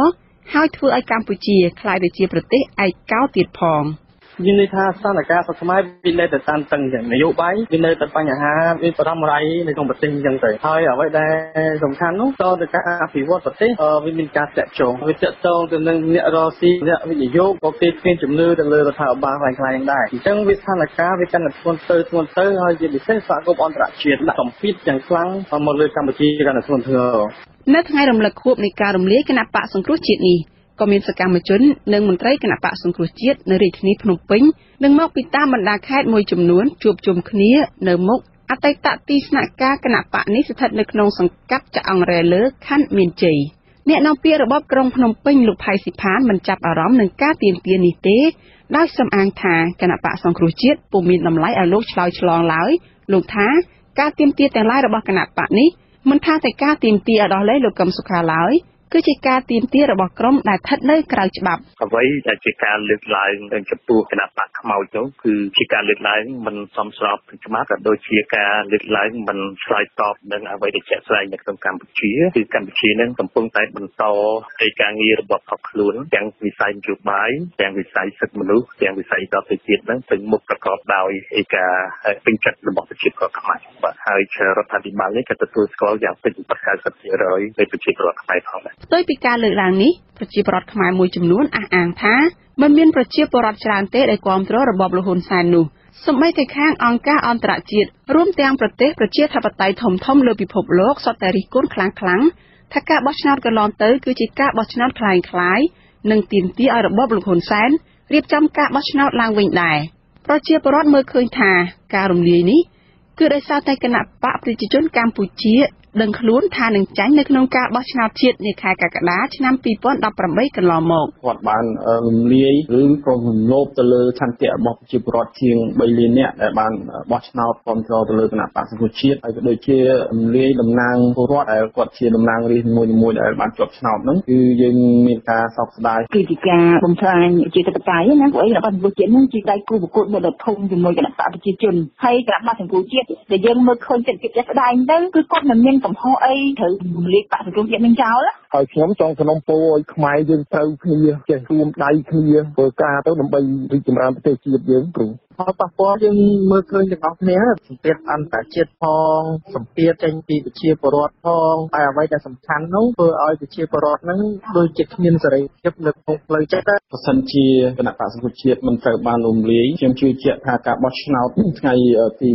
29ខែកក្កដាឆ្នាំ2018នេះខ្ញុំជឿថាគណៈបក្សសង្គ្រោះជាតិពិតជាជាទទួលបានជោគជ័យតឡាការកម្ពុជាកាលពីថ្ងៃទី16ខែវិច្ឆិកាឆ្នាំ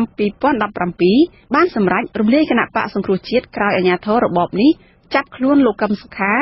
ដោយចោទប្រកាន់ពីបទក្បត់ជាតិតាមរយៈការខុបខិតនឹងបរទេសដើម្បីធ្វើបដិវត្តពណ៌ផ្ដួលរំលំរដ្ឋាភិបាលជាមួយគ្នានោះក៏បានហាម5ថ្នាក់ដឹកនាំគណៈបកនេះចំនួន118នាក់មិនឲ្យធ្វើនយោបាយរយៈពេល5ឆ្នាំអ្នកវិភាគនយោបាយលោកកឹមសុខមានប្រសាសន៍ថាព្រឹត្តិការណ៍នយោបាយកន្លងមកនេះរបបលោកហ៊ុនសែន បានរំលោភបំពានយ៉ាងធ្ងន់ធ្ងរទៅលើច្បាប់រដ្ឋធម្មនុញ្ញនិងឆន្ទៈរបស់ប្រជាពលរដ្ឋជាម្ចាស់ឆ្នោតលោកយល់ថារបបលោកហ៊ុនសែនគួរតែវិលទៅអនុវត្តតាមអនុសាសន៍របស់មជ្ឈដ្ឋានទូទៅដែលតម្រូវឲ្យរៀបចំការបោះឆ្នោតដែលមានការចូលរួមពីគណៈបកសង្គ្រោះជាតិនោះឡើងវិញលោកបន្តថា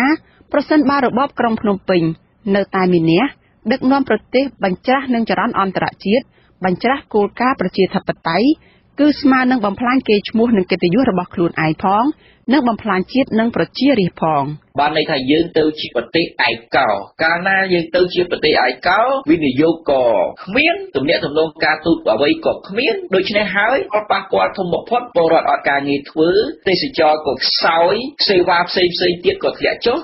ហើយអ្នកដឹកនាំខ្លួនឯងអត់មានវិធីអ្វីដោះស្រាយក្រៅតែពីប្រឹងប្រែងច្បិចប្រមូលយកផលធនធានធម្មជាតិដែលនៅសេសសល់ហ្នឹងលក់បន្តអញ្ចឹងមានន័យថាពលរដ្ឋក៏វេទនាហើយប្រទេសជាតិទៅកាន់តែហិនហោចហិនហោចស្ទើរតែខ្ទេចទាំងអស់លោកកឹមសុខក៏ផ្ដល់អនុសាសន៍ឲ្យគណៈបកសង្គ្រោះជាតិដែរថាដើម្បីទាមទារឬសង្គ្រោះប្រទេសកម្ពុជាពីរបបផ្ដាច់ការឲ្យមានការបោះឆ្នោតឡើងវិញនោះគឺគណៈបកនេះត្រូវតែរឹងមាំនិងឯកភាពផ្ទៃក្នុងបក ដើម្បីរក្សាកម្លាំងធំដដែលនិងធ្វើការឲ្យស្រុះគ្នាឈរលើគោលការណ៍ច្បាប់និងបន្តពន្យល់សហគមន៍អន្តរជាតិពីសកម្មភាពដែលកាន់តែខុសច្បាប់របស់ក្រុមលោកហ៊ុនសែនដើម្បីឲ្យអន្តរជាតិមានប្រតិកម្មដោយផ្ទាល់មិនមែនត្រឹមតែចេញសេចក្តីថ្លែងការណ៍បើទោះជាយ៉ាងណាមេដឹកនាំរបបក្រុងភ្នំពេញលោកហ៊ុនសែនបានអះអាងម្ដងហើយម្ដងទៀតថាការដោះលែងប្រធានគណៈបកប្រឆាំងគឺលោកកឹមសុខាគឺជារឿងដែលមិនអាចទៅរួចឬថាចាំរហូតដល់សេះដោះស្នែង ក្រោយរំលាយគណៈបកសង្គ្រោះជាតិរបបលោកហ៊ុនសែនបានរងការរិះគន់ជំទឹសពីប្រទេសប្រជាធិបតេយ្យថាបានរៀបចំការបោះឆ្នោតបង្ក្រប់កិច្ចនឹងធ្វើឲ្យអន្តរាយដល់លទ្ធិប្រជាធិបតេយ្យនិងសិទ្ធិមនុស្សចុងក្រោយនេះរបបនេះប្រឈមនឹងដំណើរការដកប្រព័ន្ធអនុគ្រោះពន្ធគ្រប់មុខទំនិញទាំងអស់លើកលែងតែអាវុធឬ EBA ពីសហភាពអឺរ៉ុបនាងខ្ញុំសុជីវីអាស៊ីសេរីប្រធានាធិបតី Washington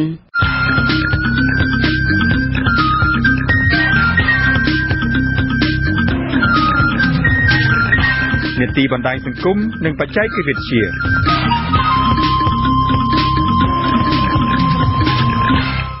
បាទលោកអ្នកស្ដាប់ជាទីមេត្រីប្រជាពលរដ្ឋកម្ពុជាមួយចំនួនដែលនិយមទាញយកកម្មវិធីកុំព្យូទ័រពីប្រព័ន្ធអ៊ីនធឺណិតជាពិសេសតាមរយៈកម្មវិធីកម្មវិធី torrent ដើម្បីយកមកដំឡើងលើម៉ាស៊ីនរបស់ខ្លួននោះបានคล้ายខ្លួនទៅជាជនរងគ្រោះបច្ចេកវិទ្យា នាពេលថ្មីថ្មីនេះគឺពលរដ្ឋកម្ពុជាមួយចំនួនបានសរសេរនៅលើ Facebook របស់ពួកគាត់ថាឯកសារទាំងអស់នៅលើកុំព្យូទ័ររបស់ពួកគាត់ហ្នឹងត្រូវបានមេរោគអ៊ីនធឺណិតចាក់សោជាប់និងទាមទារឲ្យពួកគាត់បង់ប្រាក់មួយចំនួនគឺចំនួនច្រើនផងដើម្បីទទួលបានឯកសារមកវិញតើប្រភេទមេរោគដែលអ្នកប្រើប្រាស់បណ្ដាញសង្គម Facebook ទាំងនោះបានលើកឡើងនោះគឺជាប្រភេទមេរោគអ្វីលោកសនច័ន្ទរដ្ឋាមានសេចក្តីរាយការណ៍លម្អិតជំវិញព័ត៌មាននេះ ប្រភេទមេរោគដែលអ្នកប្រើប្រាស់បណ្ដាញសង្គម Facebook បានលើកឡើងមកនេះគឺជាប្រភេទមេរោគម្យ៉ាងហៅថា ransomware មេរោគប្រភេទនេះព្យាយាមរារាំងអ្នកប្រើប្រាស់មិនឲ្យចូលទៅប្រើប្រាស់ឯកសាររបស់ខ្លួនបានពពួកមេរោគ ransomware ត្រូវបានគេប្រទះឃើញដំបូងនៅអំឡុងឆ្នាំ1989កាលនោះជនរងគ្រោះដោយសារមេរោគនេះត្រូវបង់ប្រាក់ទៅឲ្យក្រឹតជនបច្ចេកវិទ្យាតាមរយៈការផ្ញើសំបុត្រប៉ុន្តែបច្ចុប្បន្ននេះជនរងគ្រោះបច្ចេកវិទ្យាត្រូវបង់ប្រាក់តាមរយៈរូបិយប័ណ្ណអេឡិចត្រូនិកឬក៏ credit card ជនរងគ្រោះដោយសារពពួកមេរោគ ransomware ម្នាក់លោកភូសិរិទ្ធអស៊ីសេរីដឹងថាកុំព្យូទ័ររបស់លោកបានឆ្លងពពួកមេរោគនេះបន្ទាប់ពីលោកបានដំឡើងកម្មវិធីដែលបានទាញយកពីលើអ៊ីនធឺណិតលោកថាក្នុងកញ្ចប់ដែលបានទាញយកមកនោះមានកម្មវិធី crack ឬ patch ដែលអាចជួយលោកប្រើប្រាស់កម្មវិធីកុំព្យូទ័របានដោយមិនចាំបាច់បង់ប្រាក់លោកភុកសរិទ្ធបន្ថែមទៀតថាបន្ទាប់ពីលោកបានដំឡើងកម្មវិធីហើយពពួកមេរោគទៅនោះបានបំលាយឯកសារទាំងអស់នៅក្នុងម៉ាស៊ីនរបស់លោកទៅជាប្រភេទឯកសារផ្សេងដែលធ្វើឲ្យលោក មិនអាចបើកឯកសារទាំងអស់នោះយកមកប្រើប្រាស់បានវាបំលាយ file របស់យើងនឹងទៅជា extension ផ្សេងផ្សេងអញ្ចឹងទៅហើយអា file របស់យើងក្នុងទាំងមូលរបស់ computer ហ្នឹងគឺយើងមិនអាចប្រើប្រាស់បានទេតើយើងបងលុយឲ្យខាង ransomware ហ្នឹងมันគេដោះអាគេហៅថា discrete ឲ្យយើងប្រើប្រាស់ file ហ្នឹងបានគេទាចំនួន500ដុល្លារដើម្បីអឺ ជាស្នងនៃការ discrete file របស់យើងមកវិញឡើងវិញក៏ប៉ុន្តែក្នុងចំណុចហ្នឹងដែរគឺគេបានជាខមមិនថាអឺទោះបីជាយើងជួនកាលយើងបង់លុយហើយក៏គេមិនអាចយក file យើងត្រឡប់មកវិញបានដែរវាគ្រាន់តែជាបិចបោកប្រាស់អញ្ចឹងណាហើយអា file របស់យើងហ្នឹងគឺអាចនឹងខូចបាត់បង់រហូតអញ្ចឹងលោកភុសរបន្ថែមថាការដែលពពួកមេរោគ ransomware អាចមានឱកាសវាប្រហារកុំព្យូទ័ររបស់លោកបាន អាចដោយសារទៅលោកមិនបានប្រើប្រាស់កម្មវិធីដែលទិញអាជ្ញាប័ណ្ណពីក្រុមហ៊ុនត្រឹមត្រូវនិងជាពិសេសលោកមិនបានប្រើប្រាស់កម្មវិធីកម្ចាត់មេរោគនៅក្នុងកុំព្យូទ័ររបស់លោកតែទោះបីជាយ៉ាងណាលោកមិនបានបាត់បង់ឯកសារទាំងស្រុងនោះទេដោយសារតែលោកបានចម្លងឯកសាររបស់លោកមួយចំនួនទៅទុននៅក្នុងឧបករណ៍ផ្ទុកឯកសារមួយផ្សេងទៀតឬហៅថា external hard drive គឺខ្ញុំបានហៅថាបានរៀបចំទុកមុនទៅថាយើងបានចម្លងឯកសារហ្នឹងទៅកាន់ hard disk hard drive ដទៃទៀតអញ្ចឹងអញ្ចឹង ទោះបីជាខ្ញុំខូចអាហ្នឹងអញ្ចឹងក៏ខ្ញុំនៅមានតម្លៃរបស់ខ្ញុំដដែលព្រោះខ្ញុំបានត្រៀមទុកមុនចំពោះបញ្ហាហ្នឹងហើយបើសិនជាខ្ញុំអត់បាន back up វិញគឺវាមានផលប៉ះពាល់ដល់ខ្ញុំច្រើនដូចជាហៅថាការងារដែលខ្ញុំធ្វើពីដើមមកមកទល់សប្តាហ៍ថ្ងៃហ្នឹង3 4ឆ្នាំអញ្ចឹងទៅគឺឯកសាររបស់ខ្ញុំនៅក្នុងកុំព្យូទ័ររបស់ខ្ញុំហ្នឹងគឺត្រូវបានបាត់បង់ទាំងអស់ស្រដៀងគ្នានេះដែរជនរងគ្រោះដោយសារពពួកមេរោគ ransomware ម្នាក់ទៀតគឺលោកបូពិសិដ្ឋ បានអល់ស៊ីស្រីដឹងតាមរយៈការរៀបរាប់នៅលើសារ Facebook ថាកុំព្យូទ័ររបស់លោកបានឆ្លងមេរោគនេះបន្ទាប់ពីលោកបានដំឡើងកម្មវិធីមួយឈ្មោះថា Internet Download Manager ដែលលោកបានទាញយកពីលើអ៊ីនធឺណិតតាមរយៈកម្មវិធីមួយឈ្មោះថា Torrent លោកបន្ថែមថាមេរោគនេះបានបំលែងរាល់ឯកសារទាំងអស់របស់លោកទៅជាឯកសារផ្សេងដែលធ្វើឲ្យលោកមិនអាចបើកឯកសារទាំងអស់នោះយកមកប្រើប្រាស់បានសម្រាប់លោកបូពិសិដ្ឋក្រុមអក្រិតជនបច្ចេកវិទ្យាតម្រូវលោកបង់ប្រាក់ចំនួន600ដុល្លារដើម្បីជាធ្នូ ទៅនឹងការបានឯកសារត្រឡប់មកធម្មតាវិញលោកបូពិសិដ្ឋបានចំណាយពេល2ថ្ងៃនៅក្នុងការស្វែងរកអ្នកអាចជួយប៉ុន្តែមិនមានដំណោះស្រាយទើបលោកសម្រេចចិត្តដំឡើងកម្មវិធីម៉ាស៊ីនថ្មីឬ Windows ថ្មីដែលលុបចោលរាល់ឯកសារទាំងអស់រួមទាំងឯកសារមេរៀនរយៈពេល3ឆ្នាំរបស់លោកផងដែរមិនមែនតែលោកបូពិសិដ្ឋនិងលោកភុកសរទេដែលបានជួបប្រទះបញ្ហានេះនៅមានពលរដ្ឋខ្មែរជាច្រើនអ្នកផ្សេងទៀតក៏ត្រូវបានមេរោគ ransomware នេះចាក់សោឯកសាររបស់ពួកគេផងដែរការវាប្រហារដោយបំបីឯកសាររបស់ជនរងគ្រោះ ទៅជាឯកសារផ្សេងនេះគឺជាទម្រង់មួយក្នុងចំណោមពពួកមេរោគ ransomware ដែលកំពុងពេញនិយមនៅលើសកលលោកនាពេលបច្ចុប្បន្ននេះពពួកមេរោគ ransomware ទាំងនេះត្រូវបានបង្កើតមកមានទម្រង់នៃការវាយប្រហារនិងការទាមទារប្រាក់ផ្សេងៗគ្នាក៏ប៉ុន្តែបើទោះបីជាពួកមេរោគទាំងនេះចេញមកមានទម្រង់ខុសគ្នាក្តីក៏ពពួកមេរោគនេះមានចំណុចដូចគ្នាមួយគឺការតម្រូវមានការជួញដូរដើម្បីទទួលបានដំណោះស្រាយត្រឡប់មកវិញក្រុមហ៊ុនបច្ចេកវិទ្យាដ៏ធំរបស់អាមេរិកគឺក្រុមហ៊ុន Microsoft បានចេញផ្សាយនៅលើគេហទំព័ររបស់ខ្លួនថាពពួកមេរោគ ransomware ទាំងនេះអាចបញ្ជូនមេរោគមកកាន់ជនរងគ្រោះតាមរយៈសារអេឡិចត្រូនិកឬអ៊ីមែលនិងតាមរយៈគេហទំព័រដែលអ្នកប្រើប្រាស់ចូលទស្សនាឬតាមរយៈកម្មវិធីដែលទាញយកមកដំឡើងនៅលើម៉ាស៊ីនកុំព្យូទ័រក្រុមហ៊ុន Microsoft ក៏បានបង្ហាញអំពីវិធីចំនួន4ដើម្បីការពារកុំព្យូទ័រនិងឯកសាររបស់អ្នកប្រើប្រាស់ពីការវាយប្រហាររបស់ពពួកមេរោគ ransomware នេះផងដែរវិធីការពារទាំងនេះរួមមាន ការចម្លងឯកសារដែលសំខាន់ត្រូវសារទុកនៅលើឧបករណ៍ផ្ទុកឯកសារពីរផ្សេងគ្នាដំឡើងកម្មវិធីប្រើប្រាស់ក្នុងកុំព្យូទ័រនិងប្រព័ន្ធប្រតិបត្តិកុំព្យូទ័រទៅចំនួនចុងក្រោយ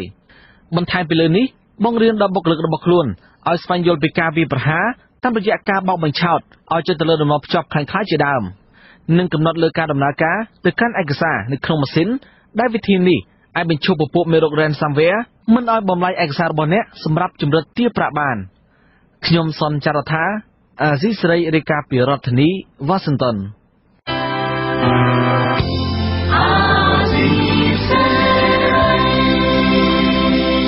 បាទជាបន្តទៅទៀតនេះខ្ញុំបាទមួងណារ៉េតសូមជូនព័ត៌មានបញ្ចប់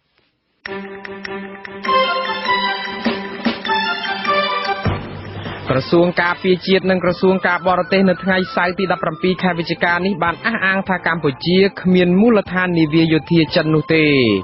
ព្រោះកម្ពុជា គឺជារដ្ឋឯករាជ្យអព្យាក្រឹតគ្មានអនុញ្ញាតឲ្យប្រទេសណាមួយប្រើប្រាស់ទឹកដីរបស់ខ្លួនធ្វើជាមូលដ្ឋានយោធានោះទេប្រតិកម្មរបស់ស្ថាប័នធំធំនៃរបបលោកហ៊ុនសែននេះគឺធ្វើឡើងក្រោយពីសារព័ត៌មាន The Asia Times ចុះផ្សាយអំពីក្តីកង្វល់របស់សហរដ្ឋអាមេរិកនិងពិភពលោកដែលកម្ពុជាអាចក្លាយជាចំណុចស្នូលនៃសង្គ្រាមត្រជាក់ថ្មីមួយដោយសារតែកម្ពុជាងាកទៅរកចិនខ្លាំងនិងឥតងាករេតាមរយៈការផ្ដាល់ដីសម្បត្តិទៅឲ្យក្រុមហ៊ុនចិន99ឆ្នាំរហូតដល់ទៅជាងរាប់ម៉ឺនហិកតានោះ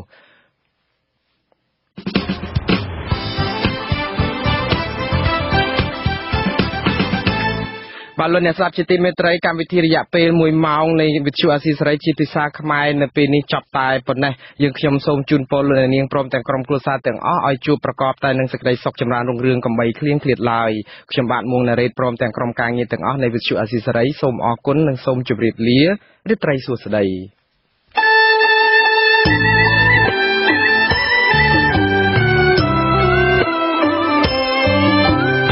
វិទ្យុអេស៊ីសរ៉ៃស្ដាប់តាមរយៈរលកធាតុអាកាសខ្លីឬ short wave តាមកម្រិតនិងកម្ពស់ដូចតទៅនេះពេលព្រឹកចាប់ពីម៉ោង5កន្លះដល់ម៉ោង6កន្លះតាមរយៈរលកធាតុអាកាសខ្លី11850 kHz ស្មើនឹងកម្ពស់ 25m និង9390 kHz ស្មើនឹងកម្ពស់ 32m ពេលយប់ចាប់ពីម៉ោង7កន្លះដល់ម៉ោង8កន្លះតាមរយៈរលកធាតុអាកាសខ្លី 9325 kHz ស្មើនឹងកម្ពស់ 32m និង15155 kHz ស្មើនឹងកម្ពស់ 20m លោកអ្នកនាងក៏អាចស្ដាប់ការផ្សាយផ្ទាល់តាមប្រព័ន្ធអ៊ីនធឺណិតដោយចូលទៅកាន់គេហទំព័រ www.rfa.org/ ខ្មែរក្រៅពីនេះលោកអ្នកនាងក៏អាចអាននិងទស្សនាព័ត៌មានវិទ្យុអេស៊ីសេរីលើទូរស័ព្ទដៃរបស់លោកអ្នកផ្ទាល់ សូមលោកអ្នកនាងចូលទៅកាន់បណ្ដាញសង្គម Facebook ដែលមានអាសយដ្ឋាន www.facebook.com/rfa.cambodia និង YouTube www.youtube.com/rfa ខ្មែរ video សូមលោកអ្នកនាងចុច like និងចុច subscribe ដើម្បីទទួលបានព័ត៌មានថ្មីទាន់ហេតុការណ៍និងទស្សនាវីដេអូផ្សេងៗទៀតបានគ្រប់ពេលវេលា។